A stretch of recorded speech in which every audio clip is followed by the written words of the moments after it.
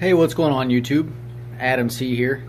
So I've added two of the three fish I've got from Beantown Aquatics uh, into the 220. Uh, the third one is that Cyanochromis niacae, and it's just because he's still so small, he needs some time to grow before he can come in here. But the Otopharynx heterodon south and the uh, Mylochromis lateristriga, both into the tank uh, as of last night. Both doing very well. I had them in quarantine for about a week, and they were both eating so well and, and behaving normally, uh, eating food aggressively that I felt they were healthy enough to, to come into the tank today. Well, actually last night. So let's take a look at them. Here is the Otopharynx heterodon. Really nice color, uh, about four and a half inches or so. If he turns, you can get a better look at his fins, but of course he doesn't want to do that. There we go.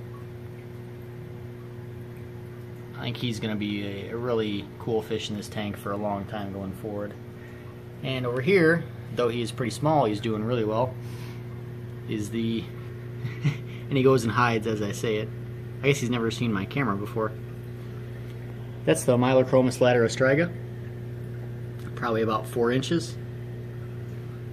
He had a lot more color before I added him into this tank he's a little bit stressed out, but no one's bothering him, so I'm not too worried about leaving him in here. I don't worry about them hiding in the corner. I worry about them more if they're getting picked on or not eating. But he's eating and not getting picked on, so I don't really have any concerns. There's a little bit of a better shot, but still taking some time to settle in with him. And you guys can also see, I redid the tank a bit. I noticed some fish were claiming some territories when I had more rocks in here. I had some tunnels they could go through and stuff like that. So I thought I'd kind of open it up a bit, see how that works out, and kind of give it a bit of a different look. I've had the same rocks in here kind of stacked in a very similar pattern for quite a few months now. So I was ready for a different look. Just got the two over here, a little spot for them to swim through, and then the rest I just left wide open. I think it looks cool for now. I'm not sure how long it'll last. For right now, I'm liking it. See if we can give you an update on any of the other fish that I added from the southeast order. Um, the Sciaenochromis psammophilus is doing very well. He's growing a little bit. Not from the southeast order, but my gar, my Lichnochromis is growing pretty well. There is the Otopharynx ovatus. He's really neat. He's always at the top. Stigmatochromis tolae.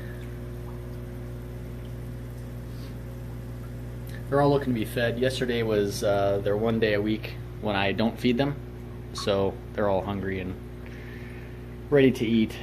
Who else was new in here? Heck, I can't even remember anymore. I think that's a problem. anyway, ever since uh, the large uh, Buccochromis has left, my Bucospectabilis has been the one that's kind of taken over his dominance, so he's, though he's not fired up now, he has been quite a bit uh, here recently. And here I'll attach a quick picture so you can check him out when he is fired up. Here, take a look at this real quick.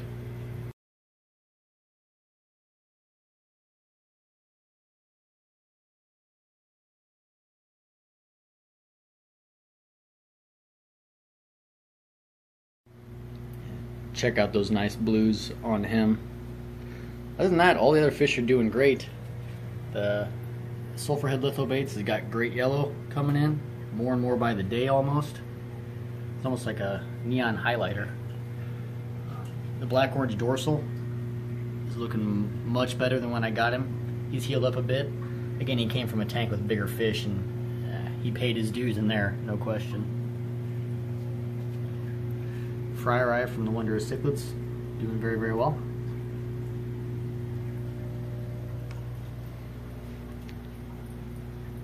Hope you enjoyed the update today. I've got a lot of other stuff coming up here.